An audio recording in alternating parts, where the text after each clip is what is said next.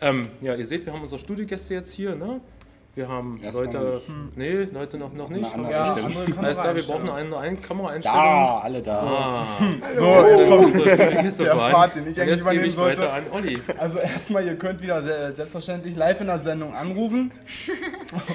Und jetzt erstmal zu den Gästen. Äh, Wir haben hier die Helen, den Markus und die Anita von äh, Mutabor. Welche Kameras denn überhaupt an? Die zwei? Ja, Äh, Und natürlich Martin Münchenberg, wie schon angekündigt, Pressesprecher Bündnis Hanfparade. Genau. Gut, fangen wir an mit Mutabor. Äh, stellt euch mal vor, was macht ihr? Äh, Musik, was kann man sich darunter vorstellen für die Leute, die euch noch nicht kennen? Also landläufig wird das immer als Blockflöten Punkrock subsumiert, was wir da so machen. Aber äh, da sind durchaus noch andere Faktoren im Spiel, um es mal etwas musikwissenschaftlicher auszudrücken. welche denn? Ähm, naja, ein bisschen Ethno noch, ein bisschen Reggae, bisschen, ach, Disco. Technofolk? Nee, Ja, Techno, genau. Techno vom Tempo ist es durchaus Techno-Haus, aber äh, nicht vom Sound. Was habt ihr für Instrumente so am Spielen? Hört sich ja sehr interessant an. Ja.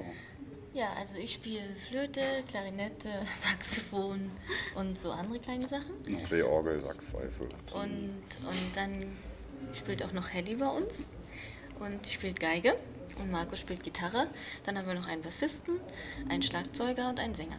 Und wie, wie seid ihr eigentlich dazu gekommen oder in welchen dunklen Ecken hat sich diese Idee ausgesponnen, so eine Musik zu machen? Das ist ja ziemlich ungewöhnlich. Ihr seid ja junge Leute, so vom Aussehen her jedenfalls noch. Und ähm, wie kommt man dann darauf, dann. Blockflöten? Gut, ich auch. sind wir 55. Ähm, Wie, Durchschnitt, wie kommt man, im wie kommt man auf die Idee, die Blockflöten Punkrock macht zu machen? Also das war früher eine fast eine reine Folk-Kombo. Also da war noch kein Schlagzeug und kein Bass mit bei. Und dann haben wir irgendwie so Lieder gesungen aus so alten Liederbüchern. Und später sind dann neue Lieder, also hat unser Sänger dann angefangen, neue, also eigene Lieder zu schreiben. Und dann hat sich es einfach vergrößert. Also wir haben irgendwann ein Schlagzeug mit reingenommen, dann wurde es schon mal peppiger und dann noch ein Bass. Und so entwickelt sich das irgendwie immer weiter. Und dann war irgendwann, waren irgendwann so viele Stile miteinander vereint. Ein langes Wort wurde, ne? um die Musik zu beschreiben. Ihr seid äh, zu Gast live bei der Hanfparade. Wie seid ihr da rangekommen oder seid ihr dazu gekommen, um zu, zu Hanf?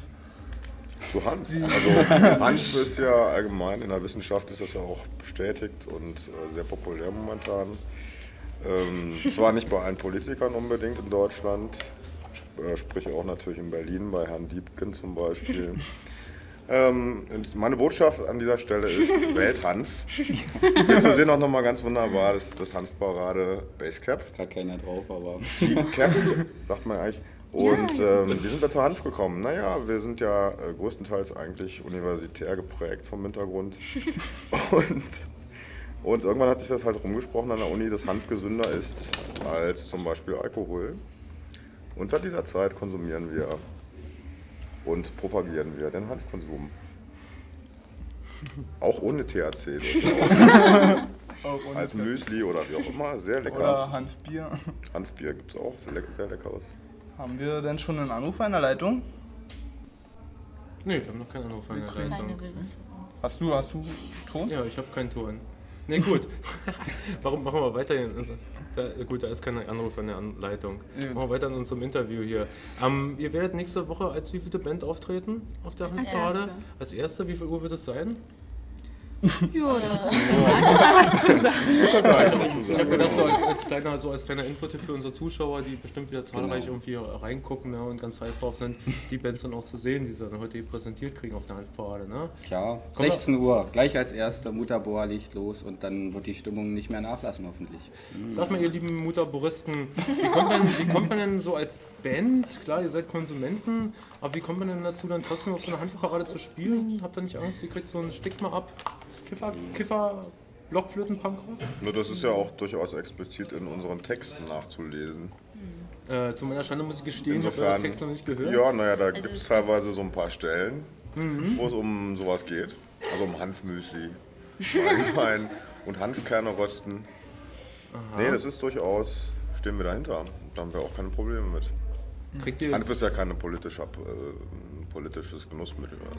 Naja gut, aber es wird ja oft zum Politikum gemacht, ne? Also, Ja, na, äh, das ist, ähm, ich sehe Ich das von denke, der Basis her eigentlich. Also. noch mehr dabei ist als nur Hanf konsumieren, sondern einfach nur äh, Spaß haben, tanzen und Party feiern, alle Und zusammen. friedlich sein und vor denke, allen Dingen. Aber es sollte Mhm. auch, man sollte auch den politischen Hintergrund dabei beachten.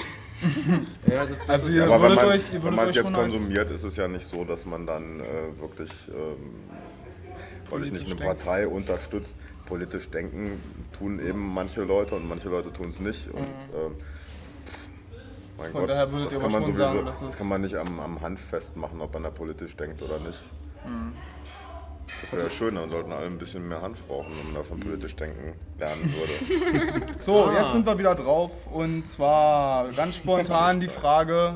Es gibt tausend gute Gründe, Hanf zu legalisieren. Nennt uns euren Lieblingsgrund. Genau, gute Idee. Also vielleicht gehen die Preise runter äh, für Hanftextilien meinst du? für Hanftextilien. Ja, Markus, dein Grund? Für Hanfsamen im Müsli.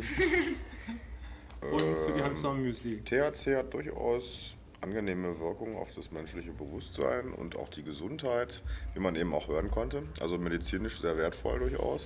Aber auch wenn man gesund ist, macht das wirklich sehr viel Spaß, muss ich dazu sagen. Ähm, ansonsten würde ich an Helen übergeben jetzt. Ja, vielleicht schmeckt das Brot besser und man weiß es ja nicht. Ne? äh, und vielleicht kommen noch ein paar überraschende neue Geschmacksrichtungen dazu. Und überhaupt schmeckt alles viel besser. Oh ja, das, Das ist, das wohl stimmt. Das ist der Fall. Fressflash das dürfte jedem bekannt sein. Und Martin?